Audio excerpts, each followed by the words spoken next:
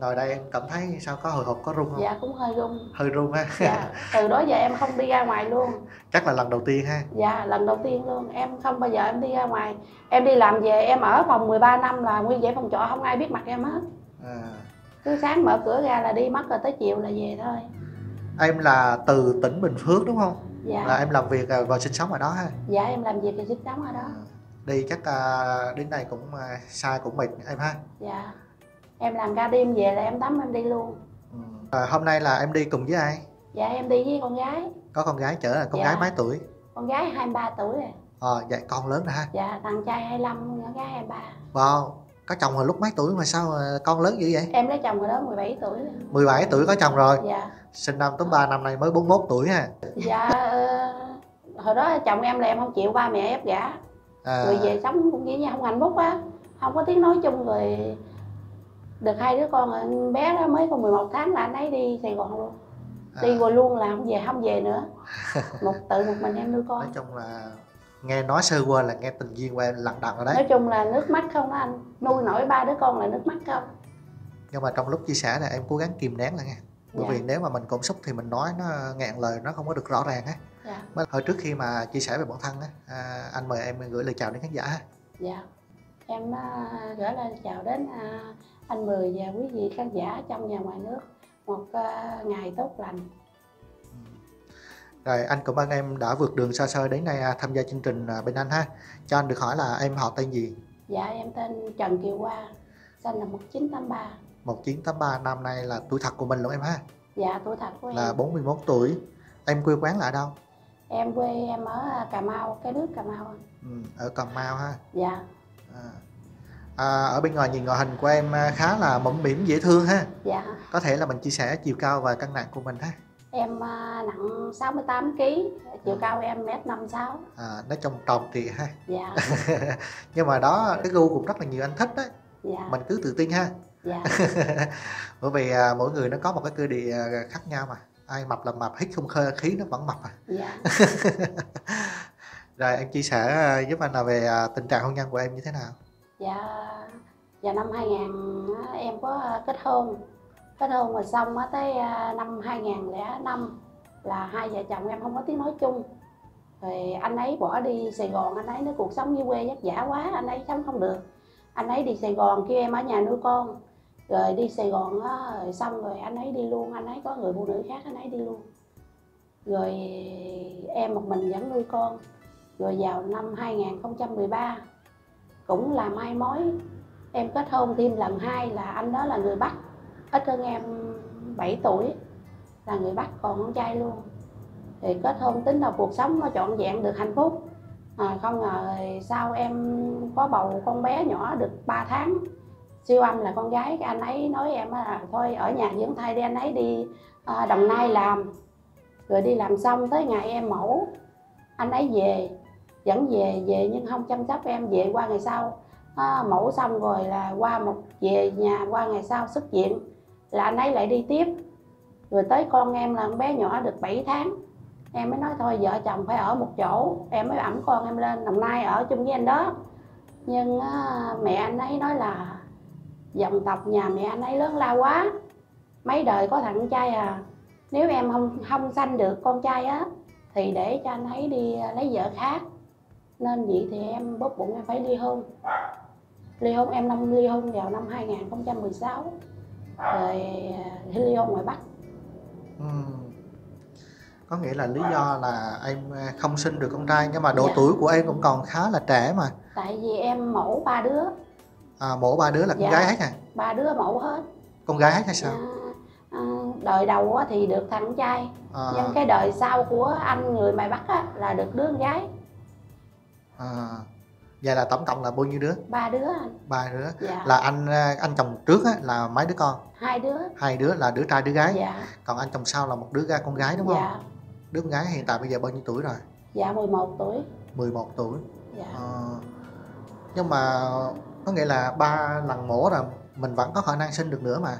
Bác sĩ nói kiểu như em mổ ba lần đều ờ, làm băng huyết á. À, nên bác sĩ nói là khuyên nếu- là không có sinh nữa nếu đúng không? ờ, không thì đừng có sanh nữa sanh nữa thì nguy hiểm đến tính mạng. À, vậy là cái lý do là mình không thể sanh được nữa. Dạ. nên mình không có thể à, sanh một đứa con trai cho cái anh chồng ở ngoài Bắc đó. Dạ. Nên là hai vợ chồng quyết định ly hôn. Dạ. Chứ còn à, sống có vui vẻ hạnh phúc không? Dạ cũng vui vẻ bình thường nhưng Ừ. à, khi mẹ chồng nói vậy đó rồi em cũng suy nghĩ mấy đời nhà ta chỉ có thằng trai à. Mà giờ khả năng em á, là không sanh được con trai nữa thì thôi giờ anh ấy cũng quyết định đi về bắt bỏ em trong đây một mình. Rồi em thấy gì thì thôi anh ấy đi về bắt rồi anh ấy cũng có người khác. Tại vì anh ấy đi là lúc năm 2015 đến năm năm 2016 là anh ấy có người khác rồi. Thấy gì em ly hôn? Rồi 2016 đến bây giờ là cũng 8 năm rồi. Dạ rồi trong thời gian đó là có anh nào đeo đuổi em không? Dạ cũng có nhưng mà là chỉ quen nói chuyện trên mạng thôi. Chứ không tiến xa hơn đúng không? Dạ em không tiến xa rồi hơn. sau khi ly hôn á là ba đứa con là ở hết với em hay sao? Ba đứa con đều ở với em hết. Hay ông xã nó có hỗ trợ phù gì cho dạ em? không em tự nuôi con. Hồi ông xã trước ly hôn đến năm năm 2009 tới giờ chưa một lần thăm con chưa một lần cho con. Ông xã sau này ờ, người Bắc cũng không một lần thăm con mà cũng không cho con đồng nào hết tự một mình em nuôi con. Nói chung thì ờ, tình duyên của em cũng lặng đặng ha. Dạ. Thôi bây giờ thì mình cứ nghĩ à, đó là một cái duyên nợ đi dạ. để cho nó à, nhẹ nhàng. Ờ, Dạ. mình à, tiến tới cái tương lai nó tốt đẹp hơn. Dạ. Rồi khi mà em tham gia chương trình kết nối yêu thương này là ba đứa con của em chắc biết đúng không? Dạ biết. Hôm nay là đứa con chở em đi mà. Dạ con gái chở đi rồi. Con trai mắc làm chứ không mắc làm nó cũng chở em đi à. rồi thường ngày rồi các con nó khuyên mẹ lấy chồng đúng không? Dạ nó Rồi nó nói sao? mẹ vất vả quá rồi. À, mẹ lo cho ba anh em con quá giờ mẹ phải có cuộc sống riêng tư của mẹ đi. Chứ mẹ già sau này mẹ già anh em con ở riêng trơn rồi đâu có ai ở chung với mẹ đâu mà lo cho mẹ. Hiện tại bây giờ thì em đang làm công việc gì? Em làm công nhân công ty vậy công ty dài ha. Dạ Ờ, rồi mình à, làm mình ở trọ tại Bình Phước luôn em. Dạ em ở chợ tại Bình Phước. Hiện tại bây giờ em ở với mấy đứa con? Em ở với con bé gái 11 tuổi. Ờ, còn Còn- hai đứa lớn kia là đi làm rồi ha? Dạ hai đứa lớn thì nó ở riêng em cho làm riêng ở riêng rồi. Ờ, dạ. Ở đứa 11 tuổi là học lớp mấy này? Dạ nó học lớp năm rồi. Ừ. hai đứa kia là hiện tại bây giờ nó làm công việc gì? À, hai đứa kia vẫn làm công nhân không? Công nhân công nhân không à? công ty vậy. Ừ. nói chung là nuôi ba đứa trưởng thành này cũng khá là vất vả em ha. Dạ vất vả lắm rồi à, ở dưới quê là mình có nhà cửa gì không? Dạ em có nhà cũng có được ờ, năm sáu con đất vuông làm nuôi tôm á. Ừ. vậy mình cho thuê hay sao? Dạ em để đại cái gì đó. À mình để vậy chứ không có ai nuôi hết không Dạ. cho thuê luôn. À, lâu lâu thì mẹ em có qua đặt có thì gửi lên cho. Anh giờ giờ có một người à, đàn ông mà về đó là phát triển kinh tế ngon ha. Dạ. Nam công à? Dạ. Cũng nhiều chứ. Dạ. Ừ. về nhà cũng có sẵn rồi. Dạ cấp giờ mà đợi anh nào mà chịu khó là về là ok luôn á. Dạ. Chắc cũng tính rồi đúng không? Rồi em chia sẻ giúp anh là về bản thân của mình á mình có à, cái điểm mạnh và điểm yếu như thế nào em? À, nói chung là điểm mạnh em là cái gì em cũng làm được hết. Ừ. nấu các món ăn hay là nấu nước uống hay là pha nước gì cái gì em làm cũng được hết tất cả. Với em không có chơi bời em không uống cà phê mà em không ăn không nhậu không chơi bời gì hết rồi điểm yếu của em là có cái là em hơi thẳng tính. Hơi thẳng tính ha dạ hơi thẳng tính. Ừ. nhưng mà thẳng tính thì cũng dễ sống mà có gì Dạ. đâu. Theo anh nghĩ là chứ còn mà giấu giếm trong lòng mà đến Dạ, hồi bộc phát là hơi mệt lắm á. Dạ. Càng thà nó thẳng đúng không? Dạ em muốn cái gì là phải có sự chia sẻ. Ngoài những cái điểm vậy thì em có những cái điểm mạnh và điểm yếu nào khác nữa? Dạ không em thì nói chung là phụ nữ là phụ nữ của gia đình. Ừ. với em sống hơi nội tâm một tí. Sống ở nội tâm. Mình Dạ. nấu ăn sao? Ổn không? Em nấu ăn rất ngon món gì em nấu cũng được hết ờ ok ha. Dạ. Còn à, mình có hay nói nhiều nó đi nó lại không? Không em không thích nói đi nói lại cái gì nói một lần một. À, du lịch hay là ca hát thì em có đam mê không? À, em không có đam mê gì hết. Nói chung là em không đam mê gì hết. Ừ. em chỉ biết đi làm rồi về nhà vậy thôi chứ em không có đam mê gì hết.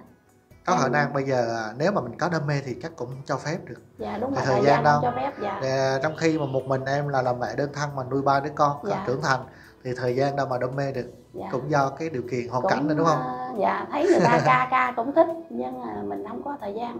À, với cuộc sống mình là gánh nặng gia đình quá không cho phép. Rồi ok em. Thì hôm nay em lặn lội đường xa xôi đến chương trình bên anh á. À, mong muốn Dạ. của em tìm một người bạn đời thì em mong anh nói như thế nào? À, người đó cũng bình thường giống như em thôi. Ừ.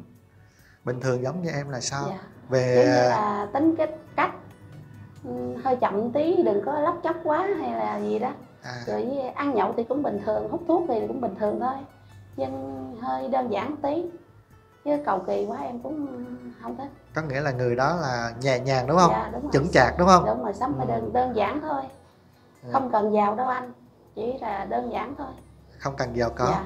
À, kiểu như là như em là được. Nói chung là cũng à, cùng hoàn cảnh giống như em ha. Dạ à, hiện tại bây giờ là em làm công việc công nhân. Dạ. Thì à, như em nói thì anh nghĩ rằng mấy anh mà hiện tại bây giờ làm à, công việc mà thu nhập thấp á làm Dạ. những công nhân này kia chắc em có đồng ý không? Dạ cũng bình thường thôi. Em cũng là người làm công nhân mà. Ừ. còn Dạ. ví dụ như mấy anh đó mà chưa có nhà cửa thì sao? Không có nhà cửa thì làm gần không thì sau này về nhà em ở cũng được mà. À, dạ. hiện tại bây giờ em đang có có, có một cái nhà đang đóng cửa đúng không? Dạ. Ờ, thì mọi thứ thì bây giờ em cũng đã có đầy đủ rồi. Dạ chỉ mong anh đó thật lòng là về ở thôi dạ đúng rồi thật lòng. Cái gì em cũng muốn cái gì cũng phải là vợ chồng phải có sự quan tâm chia sẻ. Ví dụ như vợ chồng ai cũng phải có cãi nhau nhưng cãi nhau đừng nói những điều xúc phạm cho nhau là được. Chỉ nhỏ nhẹ nhau là hiểu thôi. À, còn về độ tuổi thì em mong muốn là khoảng bao nhiêu? À, em mong muốn là tầm 55, 56 gì á, đổ về tầm 47 tuổi, 46 gì thôi. Ừ. chứ nhỏ nữa nói chung là cũng cùng trăng lứa đúng không? Dạ đúng rồi cùng chứ nhỏ hơn em là không được hả? Dạ nhỏ hơn không được với ngang ngang tuổi không được. Tại vì phải 46 trở lên em khi lại 41 đúng không? 46 đổ lên. À, dạ tại vì mình hơi cứng rồi mình lựa người tương xứng với mình chứ lựa người trẻ quá cũng ngại. Ừ. còn về ngoại hình thì em có à, mong muốn không? Người hơi bự bự con tí cao cao tí. Cho nó tương xứng đúng không? Dạ tại vì em hơi bự. À, nói vậy thôi chứ mấy anh mà ốm ốm lại thích người bự nha chuyện đó bình thường nhưng mà mình mong muốn của mình thì mình chia sẻ vậy thôi. Dạ. Còn à, nó tùy duyên nữa. Nếu mà đủ duyên thì đấy thôi. Chứ Dạ. còn cũng không nhất thiết là anh nó là bự Dạ. ốm ốm vừa vừa cũng được. Chẳng qua là muốn cho nó tương xứng thôi đúng không? Dạ tại em muốn tương xứng thôi chứ nếu mà tới duyên thì ốm hay mập hay lùn hay cao là có quan trọng. À. còn về vùng miền thì anh có mong muốn là anh đó ở tỉnh thành nào không ở đâu cũng được anh. Ở đâu cũng được dạ. ha. Miễn yêu thương thật lòng là được dạ đúng rồi. Yêu thương thật lòng có sự quan tâm chia sẻ là được. À. rồi trước khi mà khép lại cuộc trò chuyện hôm nay thì em có điều gì à, muốn bày tỏ nữa không? Em chỉ à, mong là à, nhờ kinh của anh mười á à, kết nối cho em được à, một người à, được nửa yêu thương của em. À, sau này thôi. Chỉ mong vậy thôi ha. Dạ nói mong chung là em à, ra cái tiêu chí với người Dạ. bạn đời của mình khá là đơn giản Dạ. không có nhà cũng được Dạ. quan trọng nhất là anh đã yêu thật lòng là Dạ. thôi rồi qua những lời tâm tư nguyện vọng của em anh mong rằng là các anh nếu mà cảm thấy phù hợp và cảm mến em thì vui lòng liên hệ về chương trình để có hướng kết nối cho hai người tìm hiểu nhau nhiều hơn một lần nữa thì anh xin thành thật cảm ơn em đã quan tâm và tham gia chương trình bên anh anh luôn luôn cầu chúc cho em là dồi dào sức khỏe và gặp nhiều may mắn điều đặc biệt nhất sau khi tham gia chương trình em sẽ tìm được người bạn đời như mong muốn. Bây giờ thì anh xin chào tạm biệt. Dạ em cảm ơn rồi chúc em à, với lại con em đi về trên đường thuận lộ bình an ha. Dạ. Bye bye em. Dạ